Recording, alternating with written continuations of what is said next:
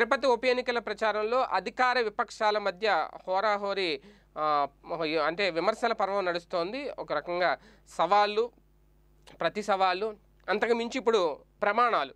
అంటే విమర్శలు సవాళ్ళ దగ్గర నుంచి ప్రమాణాల స్టేజ్కి వచ్చింది. అది కూడా నారా లోకేష్ గారు చేసిన కొన్ని సంచలన వ్యాఖ్యలు ఇప్పుడు సోషల్ మీడియాలో వైరల్గా మారాయి. అంటే ఆయన ప్రధానంగా ఈ మధ్య గత కొద్ది రోజులుగా కూడా తిరుపతి ఉప ఎన్నికల ప్రచారంలో తెలుగుదేశం పార్టీ బాగా ఉపయోగించుకుంటున్న అంశం వైఎస్ వివేకానందరెడ్డి గారి హత్య కేసు. అంటే ఆయన హత్యకు సంబంధించి వైసీపీకి ఏదో సంబంధాలు ఉన్నాయి జగన్మోహన్ రెడ్డి గారికి ఏదో సంబంధాలు ఉన్నాయి అన్నట్టుగా చేస్తున్న ప్రచారం. ఎందుకు సిబిఐ విచారణ జరగనివ్వలేదు? ఎందుకు సిట్టు మార్చారు? ఇవన్నీ అంశాలు కూడా ప్రజల ముందుంచే ప్రయత్నం చేస్తున్నారు తరచుగా. అయితే ఇప్పుడు లోకేష్ గారు ఒక అడుగు ముందుకు వేసి ఒక సవాల్ విసిరారు.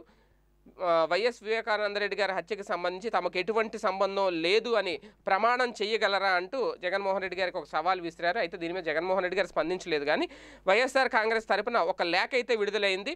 ఆ లేఖలో ఏముంది అనేది ఒకసారి చూసుకుంటే కనుక వివేకానంద రెడ్డి హత్య కేసుతో మాకు సంబంధం లేదని చెప్పి మేము ప్రమాణం చేయడానికి సిద్ధంగా ఉన్నాము.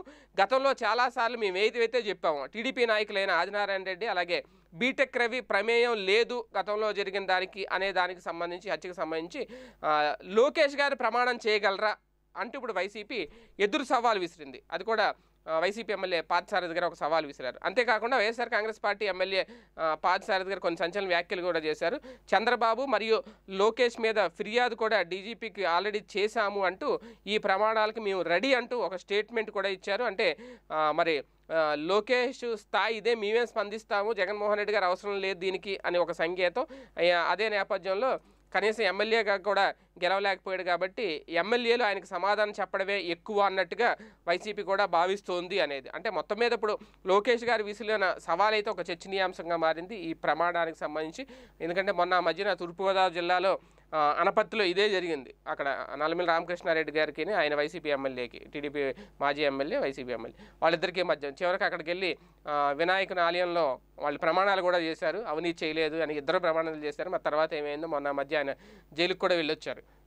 టీడీపీ మాజీ ఎమ్మెల్యే నల్లమిల్లి రామకృష్ణారెడ్డి గారు. సో మొత్తానికి ఇప్పుడు మళ్ళీ అదే పరం ఇక్కడ రిపీట్ అవబోతుందా?